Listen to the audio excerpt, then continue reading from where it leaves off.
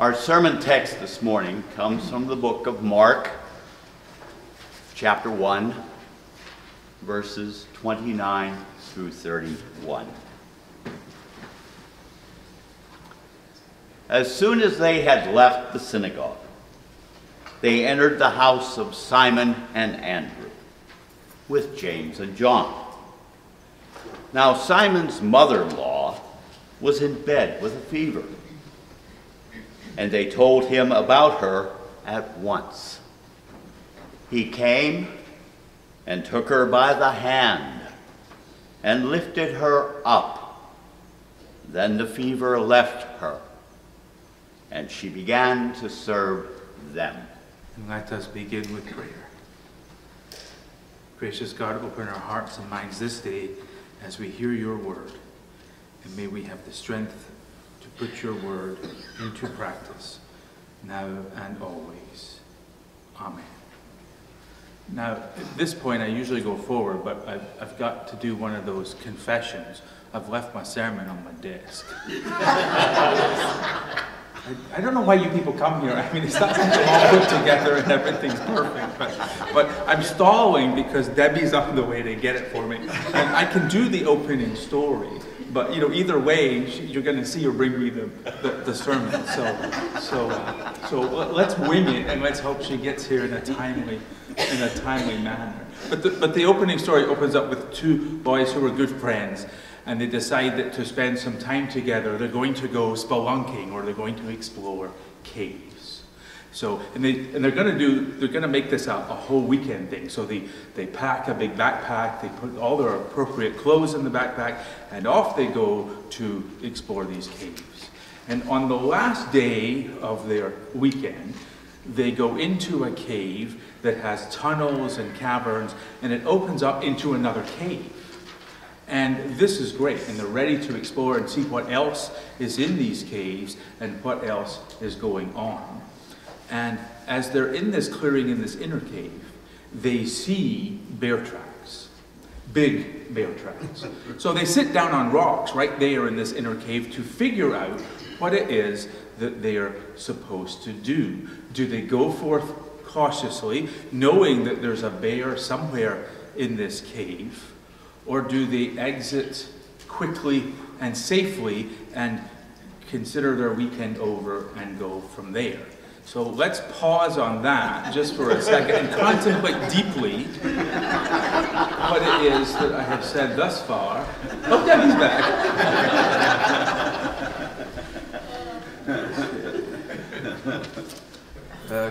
So, all right, so they're, they're cautiously deciding, they're determining what to do, and then they hear the roar of a big bear, a big angry bear that is obviously making its way to their position. So, scared to death, the boys decide that the best course of action is to run for their lives. As one boy starts to leave, the other reaches into his backpack and pulls out his sneakers. And he starts taking off his hiking boots and he starts putting on his tennis shoes and he starts tying up the laces. And his friend starts to panic. And he says, We've got to get out of here. We don't have much time if we are going to outrun this bear. And by this time, the friend's on his feet, his tennis shoes are tied, and he says, I don't have to outrun the bear, I just have to outrun you. Very predictable. When the one boy needed a friend, he discovered that there was no friend in sight. In today's scripture, we find Jesus and Peter being friends to each other in an act of friendship. Good link, eh? I tried to make those, those stories connect. Jesus came to Peter's house and discovered that Peter's mother in law was quite ill with a fever. And in a time of need, Jesus came to Peter's side to offer help. Have you ever wondered what makes this miracle so important that it was put into the gospel story. It's just a little kind of side miracle that happens in a home. In his book, Find It in the Bible, Bob Phillips comprises different lists and categories that are contained in Scripture. And list number eight is the 37 miracles performed by Jesus. 37 times, Jesus does miraculous things. He cured those with leprosy. He restored sight to the blind. He restored hearing to the deaf. He removed demons from those suffering. He fed over 5,000 people in one sitting. He walked on water. He turned water into wine. And he even brought people back from the dead. Jesus did these amazing, unprecedented events that were witnessed by scores and scores of people. And yet, here at the beginning of his ministry, in the privacy of someone's home and out of the public's view, he performed this healing. The importance of this miracle lies in the behavior of Jesus. In these three little verses, our Lord and Savior has much to teach us about love. First, the thing that Jesus showed us is that he displayed love by taking the time to help.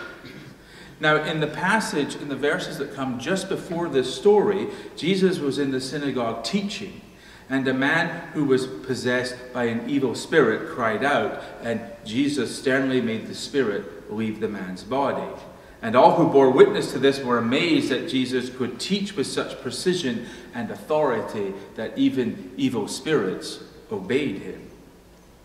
In the book, All the Miracles in the Bible, Herbert Lockyer makes this statement After Christ's exorcism of the unclean spirit, Jesus, along with Andrew, entered the house of Simon Peter, where his wife's mother was bedridden with a fever.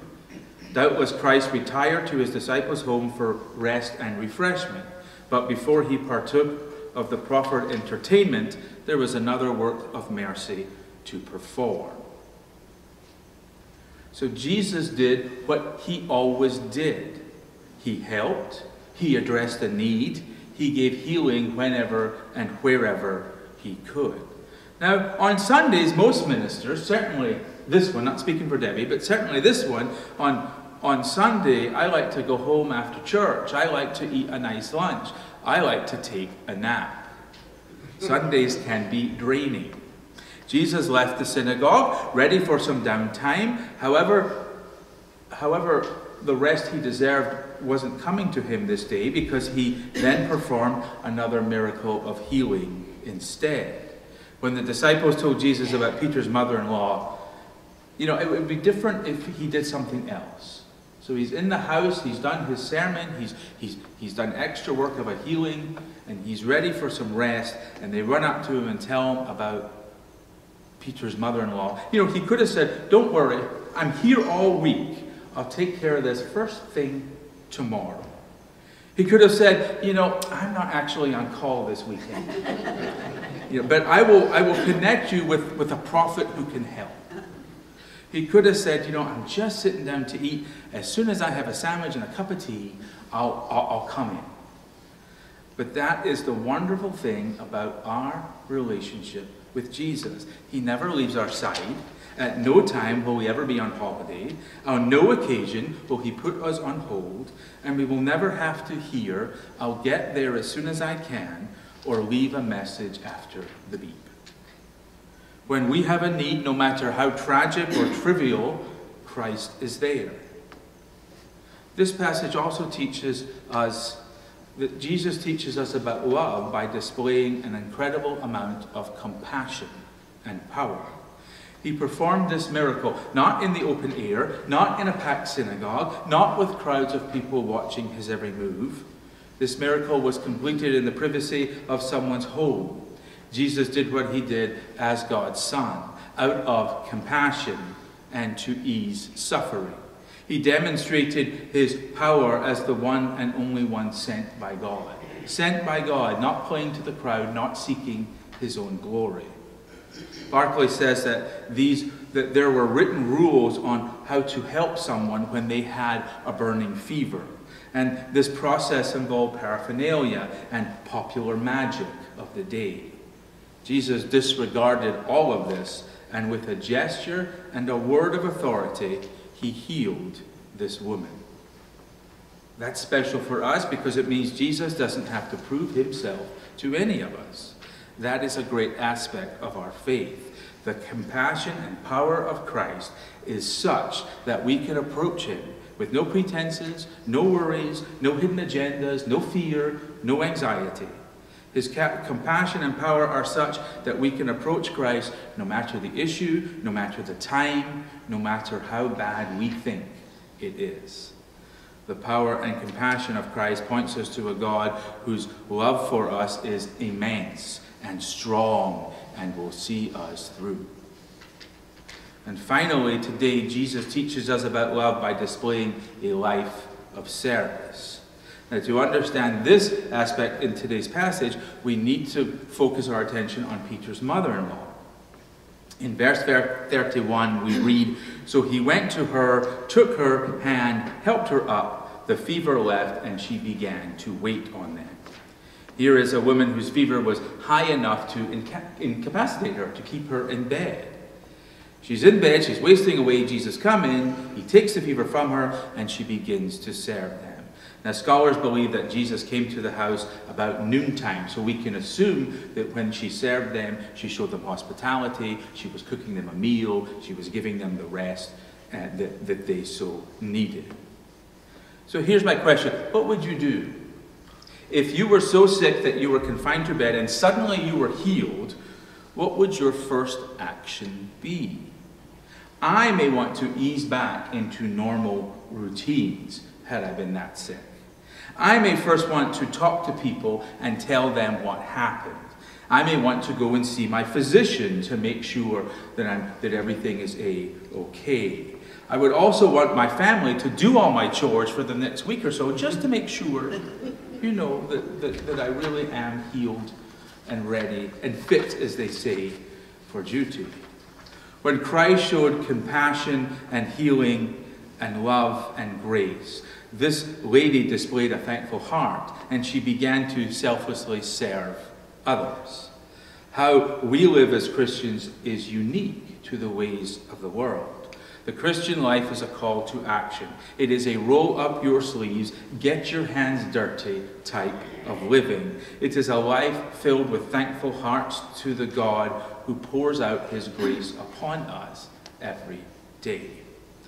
The love of Christ makes the arrogant humble, the apathetic committed, and the selfish selfless. The love of Christ helps us so that we may help others, forgives us so that we may forgive others, and loves us so that we may love others. Author Robert Fulghum, who is best known for his book, Everything I Needed to Know I Learned from Kindergarten. And he tells a story of his favorite professor. Uh, the man's name was Alexander uh, Papaderos. And he tells this story. Uh, he was taking a two week seminar, and he had learned great things from this professor in the two weeks of the course. And at the end of the course, on the last day, the professor asked if there were any questions. And after the obligatory awkward silence that filled the room, Fulghum said, Yes, Professor, I have a question. What is the meaning of life? And uh, the room reacted just as you did smiles, a little laughter, a little smirks.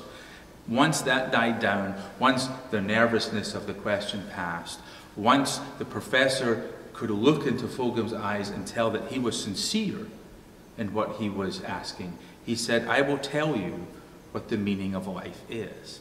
And he said, when, he said, when I was a boy, I was playing in the street and I came across the remnants of a, of a crash, you know, glass on the ground, mirrors on the ground. And I picked up the biggest piece of the broken glass, says the professor, and I went and sat on a rock and I scraped the edge of the glass on the rock till I made the mirror round and shiny. And he reached into his wallet and he pulled out from his wallet the mirror. It's about that big, maybe like a 50 cent piece size of a mirror. And he said, and I've kept that mirror to this day. When I was a boy, I quickly learned that I could reflect that mirror and I could make light shine in places. And so I turned it into a game. I did what I did every day to see where I could make light shine in places. And I got really good at it. I could make that light shine in, in cupboards. I could make that light shine in crevices or crevasses if you're from Britain. I could make that light shine through a keyhole. I got that good. And then I kept playing the game and I went about growing up and doing what you do in life. And then I became an adult. And I didn't have time for this childish game anymore. But I kept the mirror because playing that game all those years taught me a lesson. It taught me that in life, if I live a good person and a good existence in life, I can be like that mirror and I can reflect light into dark places. I can reflect light into people's lives when they are in need. I can reflect lives, light into the lives of my friends to make our relationship better. I can reflect light in people's hearts. With who I am, with what I have, with what I've been given, I can reflect light into this world and make it a better place. That, said the professor, is the meaning of life. And then he took the little mirror and he caused light to pick up on it. And he ended his story by reflecting the light of the mirror onto Robert Fulghum's face and hands as he sat in the classroom. That can be the meaning of life for us as Christians as well. We can use the light of God, and with God's help, we can reflect that light in all the dark places of this world. We know how, it's right here in Scripture. We've learned three ways that we can reflect the love of Christ. We can do things to help everybody. We can show that same compassion and power as we live our lives this day for God. And we can be called to a life of service so that our light, so the light of God in us, can shine and reach out to others. May we do that every day. Let us pray. Gracious God, we thank you for what you do and say in our lives. And we ask that you be with us and give us the courage to let that light shine now and always. Amen.